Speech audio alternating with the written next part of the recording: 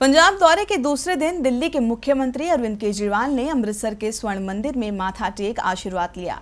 यहाँ केजरीवाल ने ऐलान किया कि अगर राज्य में उनकी सरकार बनी तो अमृतसर और आनंदपुर साहिब को पवित्र शहर का दर्जा दिया जाएगा।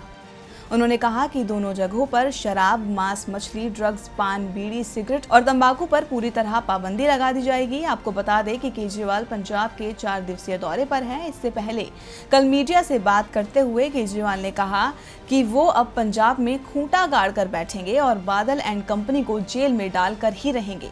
खुद पर हुए हमले की कोशिश पर उन्होंने कहा कि वो इन हमलों से डरने वाले नहीं हैं और पूरा पंजाब उनके साथ है। पंजाब में मझदार में फंसी आग को किनारे पर लाने के लिए केजरीवाल ने आज स्वर्ण मंदिर में माथा टेका और साथ ही साथ बड़े बड़े ऐलान कर लोगों का ध्यान अपनी तरफ़ खींचने की कोशिश भी की है। लेकिन केजरीवाल की ये कोशिशें क्या रंग लाएगी, ये देखना फ़िलहाल बाकी है। देखते रहिए लाइव